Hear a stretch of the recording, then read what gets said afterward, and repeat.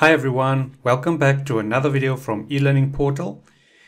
In this video, I will show you how to gamify your Moodle quizzes. Now, why is it important to include gamification in your Moodle quizzes? We all know that playing games is second nature to most students. If they had to choose between learning and games, they would definitely prefer the latter. So why not combine the two? With gamification, you can combine what they like, and that is games, with what they don't like, and that is learning. So in this video, I will show you three Moodle plugins that you can use to gamify your Moodle quizzes. So let me show you how this is done. Our first plugin that we'll look at is Quizventure. So let's head on to our Moodle plugins directory. So it's moodle.org. Scroll down to the bottom and click on plugins. In your search bar, type in Quizventure and I'll add the link, the direct link uh, in the description. Click on search and there's our plugin that we're going to install. So we click on the plugin, make sure that you have the correct version of the plugin. So I'm on Moodle 3.11, so I'll download this version. It will download to your downloads folder on your computer. Go back to your Moodle site, then under site administration, click on it, then click on plugins, and then click on install plugins. Now drag the downloaded plugin to the upload window and then click on install plugin from the zipped file. Okay, so it will go through various steps in order to install the plugin correctly. When you hit this window, scroll down, make sure that everything is okay and click on continue. Then click on upgrade Moodle database. It will install this plugin Quizventure. It's stating now that uh, the mod quiz game is successfully installed and click on continue. And here when you land on this screen, you'll know that your plugin was uh, successfully installed. From here, let's go to our course. And I'll click on Computing Course Development. So within this course, I want to add the gamification to my quiz. Okay, so let's create a quiz by clicking on making sure that turn editing is on. So clicking on turn editing on and now we can add an activity or a resource. Now I'll scroll down to where I want to add the activity and I want to add it under background reading. So let's click on add an activity or resource and find our Quizventure module that we've just installed. I'll click on it. Now for this Quizventure, you need multiple choice questions and matching questions to actually um, allow this plugin to work. Okay, so make sure that you have multiple choice questions as well as matching questions in your question bank. So let's give it a name and I'll call this testing game. I'll scroll down. It says, it asks me a question category and I'll have to choose a question category from my question bank. Okay, so I'll choose a question category so let's use the basic computer system module and you have to make sure that it is actually multiple choice or matching questions. And how do I do that? If I go back to my course and I click on the gear icon and I click on more, scroll down and go to question bank, you can actually see the categories there's my categories within my question bank within that particular course. Okay. And I want to use this basic computer systems model. And I'll see here that these are all multiple choice questions and these are matching questions. Okay. And there's uh, short answer questions as well. It's better to use either multiple choice questions or matching questions or a combination of the two okay so make sure that your quiz um, consists of those uh, question types. So here I have uh, considerations when creating computer systems. I have matching question as well as my multiple choice question. So I'll use this category. Okay. So I'll go back to my course. I'll add my activity or resource by clicking on add an activity or resource, clicking on Quizventure, giving it a name, testing game. Okay. I'll scroll down and I'll choose my considerations when creating computer systems. Under common module settings, I'll leave it on its default. I don't want to restrict access and so my activity completion should be marked as show activity as complete when conditions are met. Uh, and I don't want a, a, required score there okay? So I'll leave everything on its default for tags and competencies and I'll click on save and return to course.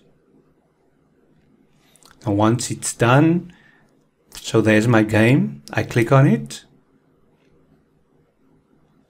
And now you'll see it will open up and you can start by hitting the spacebar. So once you hit the spacebar, you'll see that it asks questions and now the learners have to shoot and move with their uh, with the up and down and right and left buttons on their keyboard and shoot with spacebar. So once they hit the correct answer, it will actually provide them with marks and you'll see my score is zero and my lives, I still have three lives left. So I can shoot by going right, left, up and down and it will provide me with a high score. And the incorrect answers actually shoots back. Okay. and this is really fun for the learners so now they can actually play their arcade game and learn simultaneously okay so and it's really motivating while uh, because they can compare their highest scores with uh, the learners in their class. And this is how easy it is to set up a Quizventure. Now make sure that you have multiple choice questions as well as matching questions. You can also turn on the sound and it will you will you will hear the particular sound of the game. And uh, you'll have a, uh, the learners will have a live experience of the game okay and this is really fun it will keep them busy for quite a quite some time um, okay so this is the Quizventure plugin that we can use in Moodle, either for multiple choice questions or for matching questions. The second plugin we are going to use is the Games plugin in Moodle. So let's go to moodle.org again. Scroll down right at the bottom, we'll click on Plugins. And then in our search box, type in Games and click on Search. The second one here says Games and this is an activity that we can use and install in Moodle uh, and it it's a combination of Hangman, Crossword, Cryptex, Who Wants to Be a Millionaire, Sudoku, uh, Snakes and Ladders, Hidden Pictures and Book with Questions. Okay, so these are all the games that's included within uh, the game activity. Okay, so I'll click on versions and then download the correct version. Once it's downloaded, I'll go to my Moodle site, click on Site Administration, and then click on Plugins. Click on Install Plugins, and then drag the downloaded plugin to my upload box. Once it's ready for upload, I click on Install Plugin from the zip file. I go through the installation screens Once I see your server environment meets all the minimum requirements, I click on continue. And then you'll see there's my mod module that I want to install. I click on upgrade Moodle database now. And there you'll see it's successfully installed my plugin. I click on continue. I can configure it either here or I can go into the settings of the game plugin. Okay, so I'll click on save. I'll leave everything on its default. So then when you see this screen, it will be successfully installed. Okay, so let's uh, look at how we can use that plugin. So let's go to my course on computing. Okay, so within the course, make sure that you have a glossary already installed in your course. Okay, so here I have my glossary um, and I'll share the link where you can download this glossary.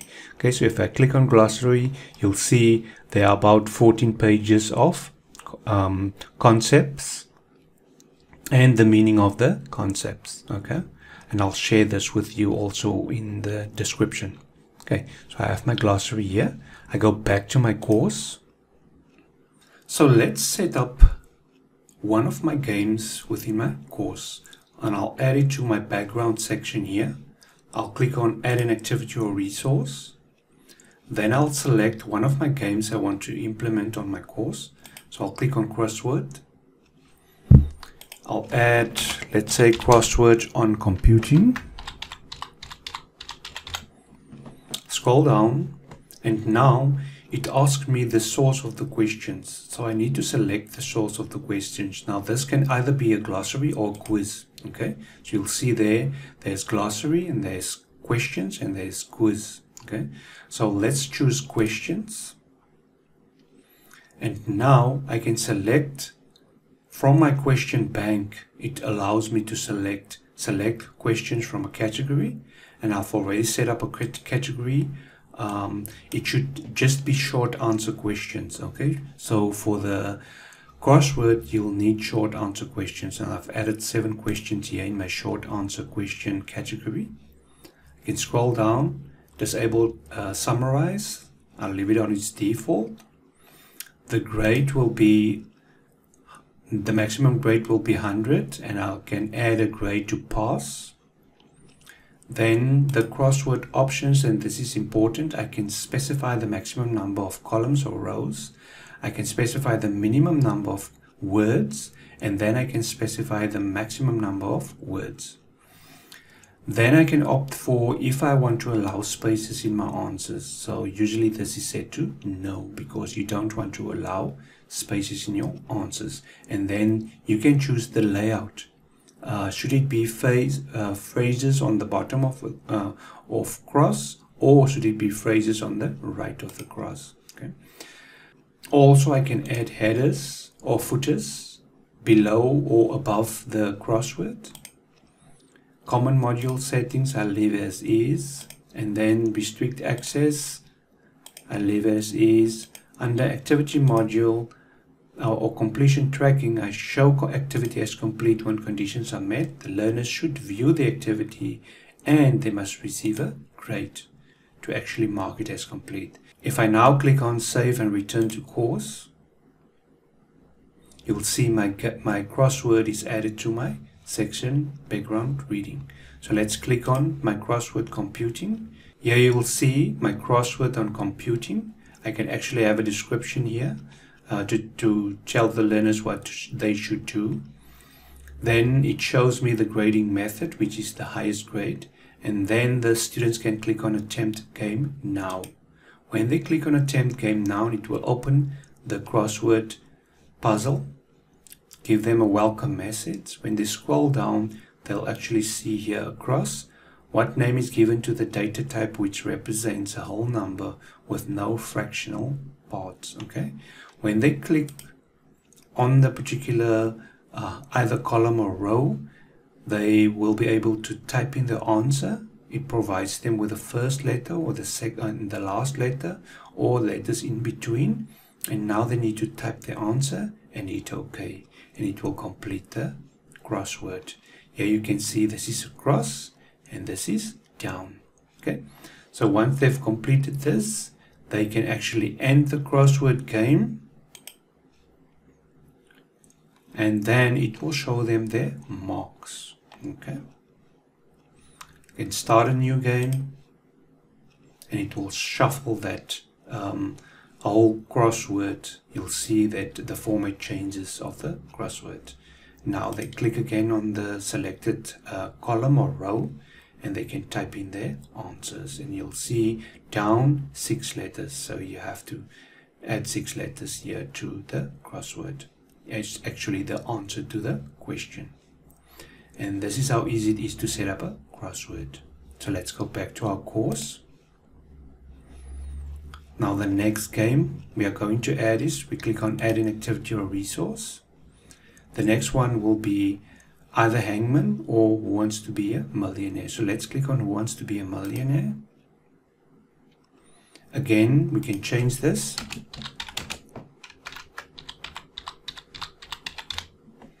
Let's scroll down and you'll see the source can also be questions.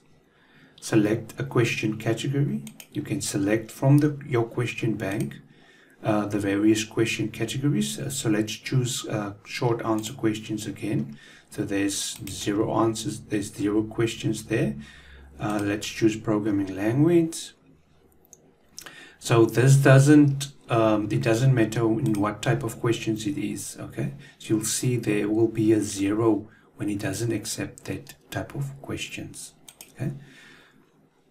Let's leave everything on its default and let's click on the millionaire options and the background, this is the background color and the question should be randomized yes.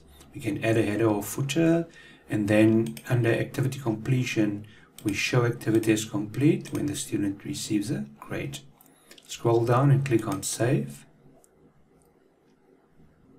So now it uses that questions to actually uh, allow me to play the game. Again my heading my grading method and now students can click on attempt game now.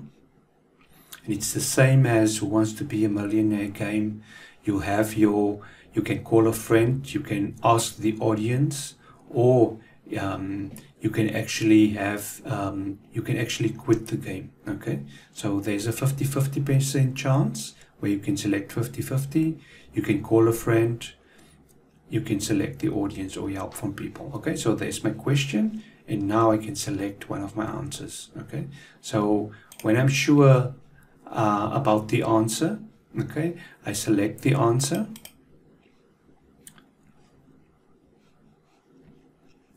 Let's say I choose one 50-50 and it shows me, it takes away 50% of the correct, all the answers. Okay, now I need to, I have an option to call a friend.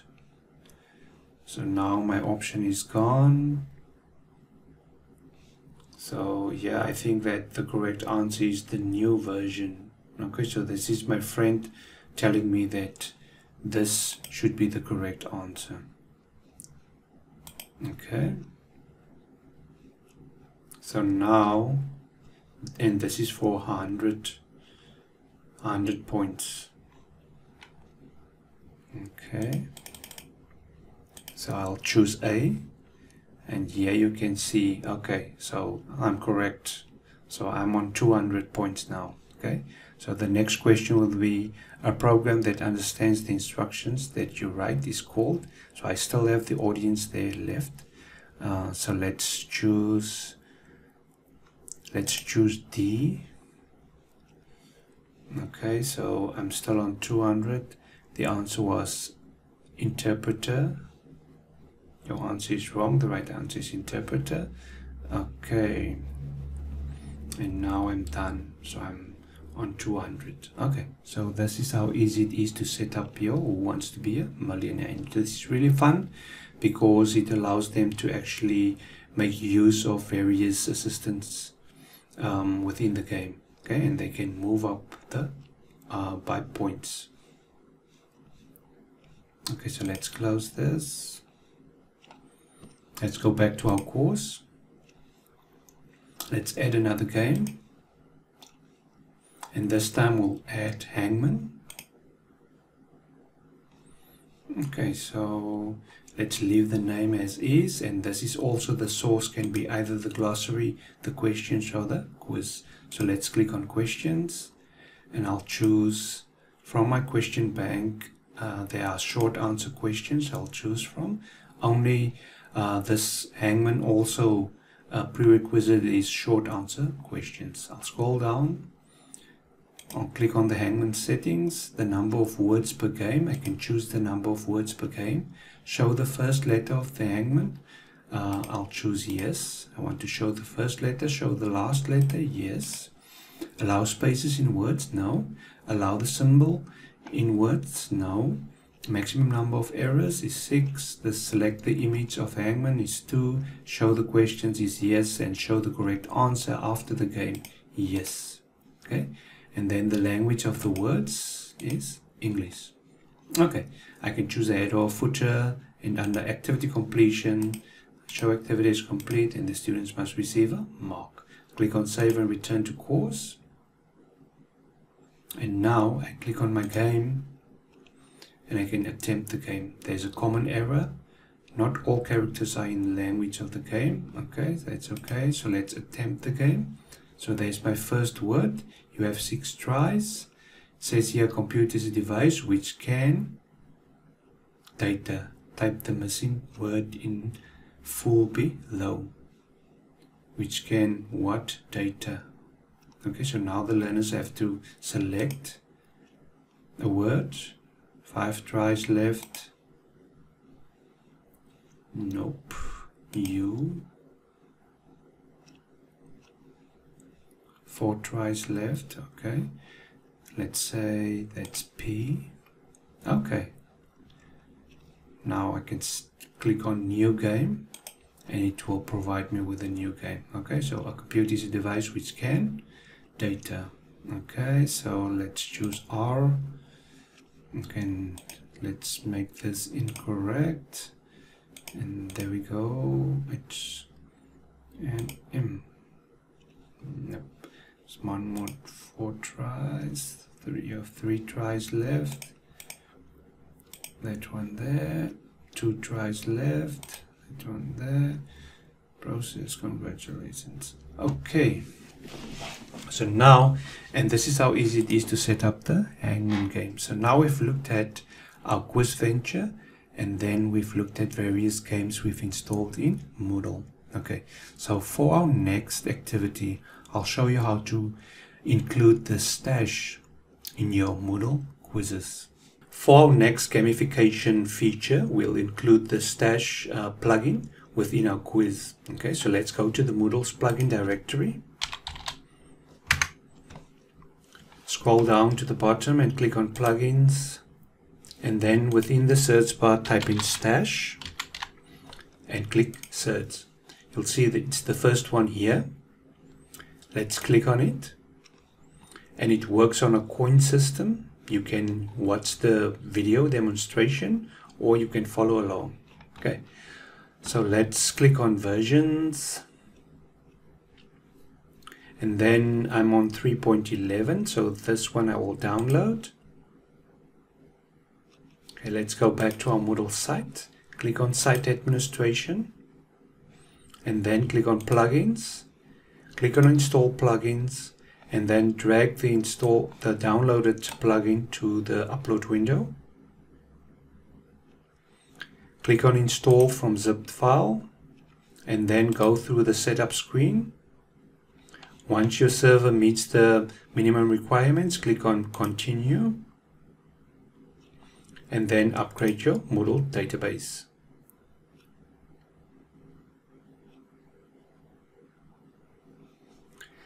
Here you'll see it's successfully installed. Let's click on continue.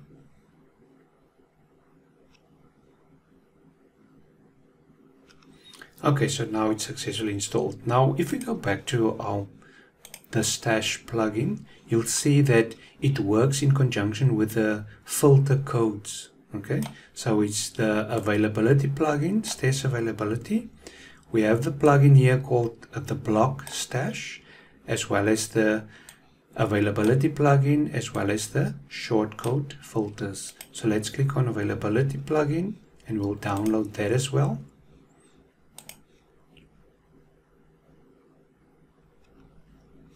Let's go to our Moodle site, click on site administration, plugins, install plugins, and then drag the availability plugin to the upload window, install it, go through the setup screens, make sure that your environment meets the minimum requirements and upgrade your database.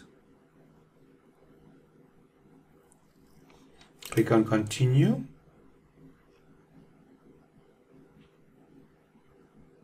And now for the last one, it's the shortcode plugin. Okay, let's just go back here. Okay, so now it's the shortcode plugin. I'll add the, the links to the description below and you can download it. Okay, so this one, click on version. I'll click on my Moodle installation, site administration, plugins, install plugins. And I'll drag that downloaded plugin into my upload box and I click on install go through the setup make sure that my server meets the minimum requirements click on continue click on upgrade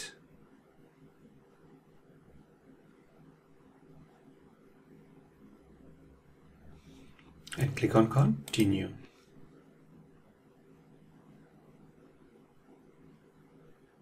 Okay, so now we're done installing the plugin. So let's go to our course to set up the feature within our course and we'll set it up in computing course development.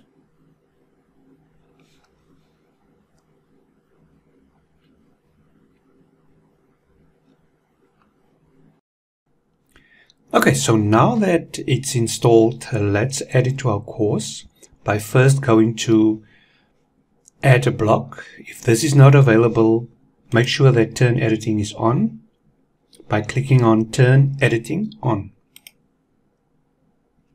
Scroll down and click on add a block. And in your add a block pane, let's look for the stash module or the stash block that was just added. Okay.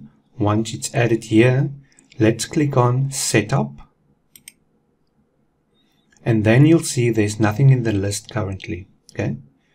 We can click on add an item. And now we can give it an item a name. And then the amount limit as well as the image as well as some details. Okay. So I'll add an item name so let's say this is my um,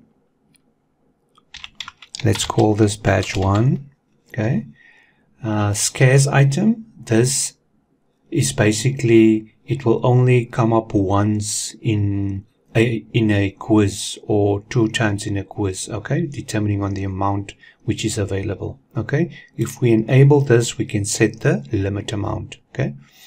So if you have a scarce item, let's say you have a group of items and you have one item that is scarce, you can select this and type in the amount that should be available for the students to um, accumulate. And then they they will stand out as having the first one to uh, to have this badge okay? For now let's leave this unchecked. And now for the images. Let's go to uh, type in free images and we'll go to pexels either pexels or pixabay um, which will here you can obtain free images okay? So we'll type in badge. And here are different badges that you can use. You can also type in characters like um, let's say Pokemon. They'll have different images that you can use and maybe you can uh, let's say they attempt um, difficult question, you can provide them with a, a, nice Pikachu or something else, a nice Pokemon. Okay, so then they have a group of Pokemons they can accumulate. Okay, so you can download some of the images here which you want to use. Um, I've already downloaded some of the images, so I'll add an image here. Go to my downloads folder and in my downloads folder there's badges and yeah I have a Twitch I have a mug a Twitch mug so I'll add that one there. I'll upload it. So there's my image. I can click on I can add some details here or some details pertaining to this image or pertaining to this badge. Okay. Now I can click on save and next. So here you can see um, my item is badge 1. My location, where should it be? I can specify a location. Uh, and here you can read the name of the location is only useful for you to organize your items uh, and will not be displayed to students. Okay, um, so you can specify it here. Then the supplies. Is this an unlimited item or are there only one badge one? Okay, so you can state here that there's one or there's unlimited. So I'll make that only one badge. Then the collection interval. Should it be every hour, every week, every day, uh, once a minute or once a second? Okay, depending on where they uh, can obtain or accumulate this. Okay, so I'll leave it every hour. Then I click on save and next. And here you'll need to supply where uh, the location is okay so I'll call this my computing course. Okay then I click on save and next. And here you can see there's my item okay and it will show pickup uh, once um, the learners can access or answer the question correctly. So so here you'll see once you have created the item and the location, you need to add a code snippet to your course. Okay, so you'll see here appearance, the image and the button or just the image. It will show just the image. The text, it will just show the text or the image and the button. It will display the whole image and the button. So I'll leave it as is. I can change this, pick up but I'll leave it as is for now. And this is my short code. Okay, so I'll copy this. I'll copy this short code. And now I can go back to my main screen. Okay, so now my first one is created. So what I need to do now is I can go back into my course. Remember I've copied the short code. And this is where the the plugin, the shortcode plugin comes in. Okay, the filter codes plugin, uh, and I'll show you now. Okay, so let's go and create a quiz. So let's add an activity or resource, and I'll select my quiz activity, and I'll call this my stash my stash quiz okay uh, my timing I can leave as is. My grade um, I can only one attempt. Remember I'm only allowing one attempt because I, do, I don't want them to accumulate a lot of my coins or my stash. The layout should be every question. Doesn't matter for my question behavior. My reviewing option I leave on default. My appearance no image um, I'll leave this on zero decimals. I don't use Safe Exam Browser. Extra restriction on attempts. No. And then activity completion is show activity is complete. Students must view it and students must receive a grade. Okay. Tags and competencies I don't use. I click on save and return to course. Okay. So there's my quiz. So let's set up the quiz. I go to edit quiz and I'll go to add and add from the question bank. And now I'll select I'll select my seven questions that I've set up my short answer questions okay? I'll add everything here to my quiz by selecting this. And there's my seven questions. Okay so now I need to go into my questions. So in my first question so here's my question let's just go down okay? So now remember we've copied the short code. So I'll paste it in here. So there's my short code that I've copied uh, on my stash uh, plugin. Let's click on save. If the learner should view or attempt the quiz you'll see there it shows my badge and they can click on pick up and it will they will eventually pick up that uh, icon or that uh, particular stash item okay So let's go to our course again.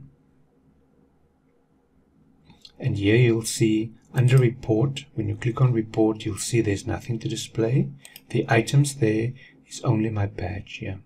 Okay, so I'll, I'll enroll the student now in this course and he can attempt the quiz. But let's add some more items here. So let's click on add an item. And I'll call this my batch 2. Okay. Add an image. Choose. Let's go back. This time I'll choose this diamond here. Open upload okay so there it is I click on save next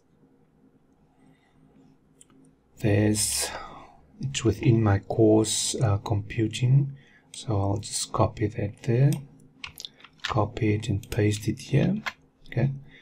Uh, supplies is only one and the interval is one hour. I'll click on save next.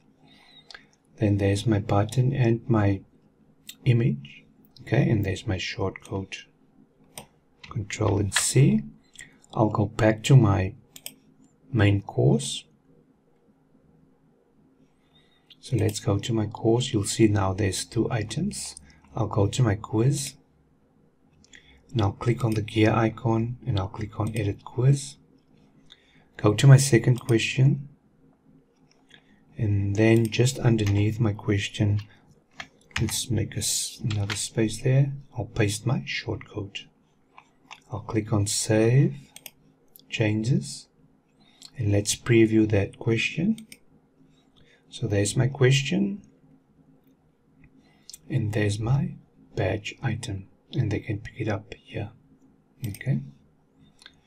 For my third one let's add another one. Okay. Let's go to setup. Add an item. I'll call this badge 3 remember you can name this any you can give this any name you want okay let's add an image. Okay so my third one will be okay so this is a bow let's choose that one. Upload. Okay click on save and next. Um, it's also in my course computing. I'll copy that and I'll paste it in here I'll leave everything on its default. I'll save and next. There's my image. I'll copy this shortcode. Control C go back. Okay so now I have three items. Let's go back to my course and I'll go to my quiz and then go to edit quiz. And now I'll add this on my last question okay I'll edit it here. Control V. Click save. Okay let's view that. Okay so there's my item. Okay so now let's create a student and enroll the student in the course and allow the student to attempt this quiz. And you can also tell the student that uh, they can accumulate um, stash items and then we'll look at the report that uh, the stash block provides. Okay, so I've enrolled Andy here in my course and now I'll, I will allow Andy to actually attempt that quiz. So let's bring in Andy here and I'll log in as Andy.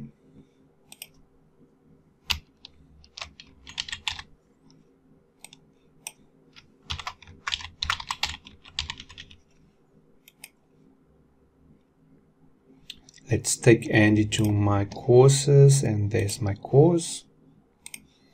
Okay, let's just end this too. Okay, so let's go to my quiz. There's my quiz.